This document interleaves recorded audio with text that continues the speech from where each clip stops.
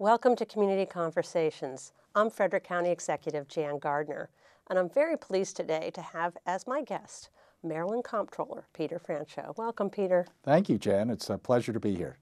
Well, you're here visiting Frederick today. Can you maybe share with our viewers why you're in Frederick today? Well, here's what I love about Frederick. First of all, the county is well run, it's well managed, uh, it's a huge asset to the state of Maryland, uh, very integral to the future of the state's economy. So I love coming up to Frederick County, and then I get to come and visit the city, which has so much history and it's so vibrant, and all these small businesses that are the backbone of the state's economy. Um, but in Frederick County, you seem to have cracked the code and really figured out how to uh, be welcoming to these wonderful bricks and mortar small businesses. So yeah, I got to see the pizza shop and the record shop and uh, a couple of other uh, Brewers Alley, of course. You know, we had to stop by that because yeah.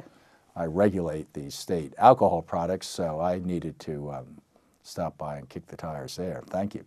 Well, I know all the small businesses enjoy seeing you. It's not everybody who gets to meet their tax collector.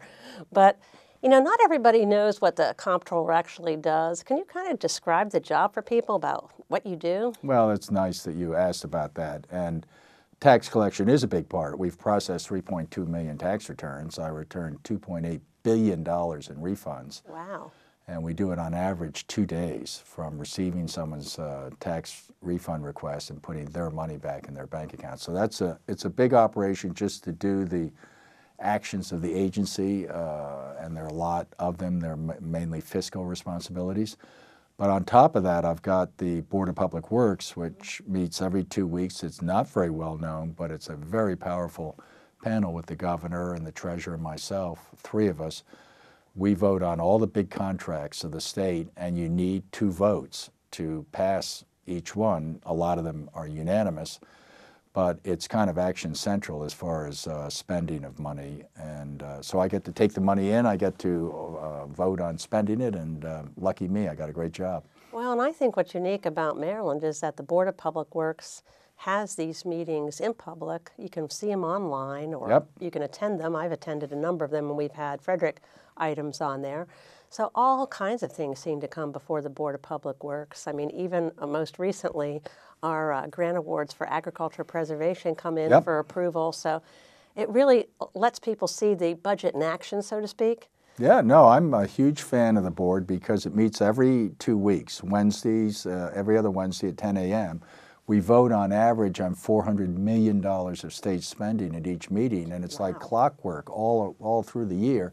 Yes, you have appeared several times, and we really appreciate it, but anybody can show up. It's not like uh, the legislature or something where you feel like you know you have to have some important role or something. You don't. You can show up if there's an item that's available and advertised. If you want to sign up to say something, you can. If you just want to come and watch us in action, you're perfectly willing to do that. It's in the governor's reception room. It's accessible. It's transparent. Uh, we welcome people to come in, and uh, I think as you have observed perhaps, it's a good check and balance because we can approve the things that are good for the taxpayers, but we're also in a position where um, on those occasions where it doesn't make sense, we can say no. Yep, that's right. So it, it's, yeah, it's an cool. interesting thing that we do in the state of Maryland, and, and not everybody knows about it, but it's a very powerful position that you have as a member of the Board of Public Works. Well, you're kind. Uh, I don't want to, you know, the governor's the governor and the treasurer is elected by the legislature, but uh, yeah, I'm elected by the people, and they expect me to be a good watchdog. And uh, in fact, I had a beer named after me. It was called Fiscal Watchdog. Special brewery just for me. So lucky, uh, you know, I, I'm uh, blessed by uh, the uh, fact that Frederick and other areas in the state have a booming craft beer industry. Well, I know you have regulatory regulatory role with all of our breweries, mm-hmm. but I know you've taken a special interest in working on uh, craft breweries and their issues because they do have some legislative issues as well. Um, because they're a growing new industry in throughout the state. So you have a task force that's at work. So, mm-hmm. what are the big big topics on that group? Well, hats off to you and Frederick because you're kind of ground zero for uh, craft brewing in Maryland. You've got some fabulous big craft brewers like Flying Dog. Mm-hmm. You've got some marvelous small ones like Attaboy uh, here in the city. Uh, I think I just gave uh, one of the awards that we give out each year to uh, Attaboy. And uh, we just came from Brewers Alley, which is uh, a fabulous place. These are, I see the craft brewers as manufacturers because they make products. Uh, they're very connected to local agriculture. Uh, they're very popular with millennials, who uh, are folks that we want to attract to Maryland. And the economic activity could double or triple if we could just get out of the way and say, you know what, guys, you make a great beer. We're going to let you brew it and we're going to let you sell it and we're going to try to keep the regulation that's appropriate for underage drinking and things like that solid, but we're not going to let you be uh, the subject of a lot of anti-competitive stuff from your, uh, you know, the other uh, folks that that uh, are involved in this industry. We should, you know, let you have some freedom. And if we do, I think we'll be uh, within a couple of years at uh, three billion dollars in economic activity. This is a big. This is a, not a small sector. Well, we have a, a, quite a few craft brewers here. Some of them are farm uh, breweries as well, and they're I've mostly. visited almost all of them. I You probably have. I, they know you very well. It's a tough job. Someone's got to do it to uh, get out and kick the tires at these uh, wonderful establishments. But they tend to be family owned. They tend to be small, and they all have the potential to grow. But we do have some big ones like Flying Dog, and they're looking to expand their whole manufacturing facility, hire 100 people. That's really something significant that is also part of this industry that I think people need to recognize that it can mean a fair number of new jobs. Oh, absolutely. And uh, they produce a lot of uh, tax revenue, which I see as the uh, comptroller. But most of all, they represent to me the innovative entrepreneurial energy of a place like Frederick County. I mean, you talk about leveraging. Uh, they leverage a lot. You talk about doing something innovative. They are very innovative. And you talk about moving into the future that's them. And uh, they have bled into kind of uh, identification with the state's business reputation. So if you travel to North Carolina, Oregon, uh, California, those areas, and you ask them about uh, Maryland, uh, sometimes people have an old view of oh the Chesapeake Bay. Sometimes they click on to hey, we understand you guys have some great wineries, you have some great distilleries, you have some tremendous craft brewing. That's what I'm uh, interested in having uh, Maryland known for around the country, and because these are the folks that we want to um, come and live here. Well, we want to attract that talent pool, and so this is part of the fun for the millennials, and Yeah. of course, people our age like it too. Yeah, the beer doesn't. Beer's not bad. So I'm kidding, guys. The beer's terrific. beer is yeah, yeah, the and- beer is pretty darn yeah. good. So uh, congratulations, because Frederick really has figured out how to do this in a way that protects the public, but also allows these uh, entrepreneurial folks to, uh, Do what they want to do. yeah, do what they're good at.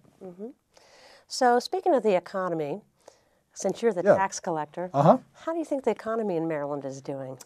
Well, I think the public budgets are uh, a little shaky because the revenues are not as strong as we would like. Uh, but the main concern I have is for these bricks and mortar stores because they face all sorts of challenges on Main Street from uh, internet competition. Uh, that's a that's a major problem for the state's uh, retail operation, and we see it reflected in the revenues that we're uh, keeping a close eye on. It's not the end of the world. It just means that uh, Amazon, for example, uh, historically has not collected sales tax on items it sells in Maryland. Recently, they've had to because they opened some big distribution facilities, and uh, I'm not allowed, under confidentiality, to tell you how much sales tax revenue that was re- remitted to me by Amazon, but it's a god awful big number, and it just shows the reach of these internet companies. So uh, Amazon's doing the right thing now, but there are lots of big internet companies that do not uh, collect the 6% sales tax. They should. Congress has to act. On that. Uh, hey, welcome to our world. Uh, Congress looks like it's uh, not capable of a two car parade, but maybe uh, they'll pass the marketplace Fairness Act, which is what this is called. This is not a new tax. Uh, this is simply taking the existing sales tax of the state and fairly applying It's it. leveling the field. Because otherwise, these wonderful uh, retail establishments in Frederick, you know, it's tough because they have to pay rent, they have to pay employees, they have to pay lawyers and accountants, and you know, they have real businesses. And uh, the internet people don't have to do that.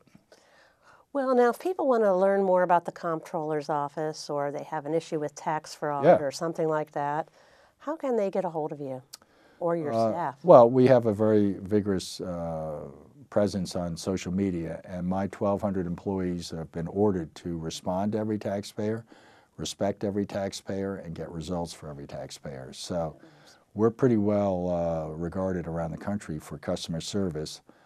We handled uh, 600,000 phone calls so far this year. Wow. On average, people, it's 1 800 MD for Maryland and then taxes, T A X E S. You dial that number within 40 seconds, you will get a live, friendly, professional voice on the phone, someone who works in my agency. They are on your side. They're not like the IRS. They are, you know, it's, they can't always say yes, but they're going to be sympathetic. They're going to listen. They're going to help you through whatever it is is your concern.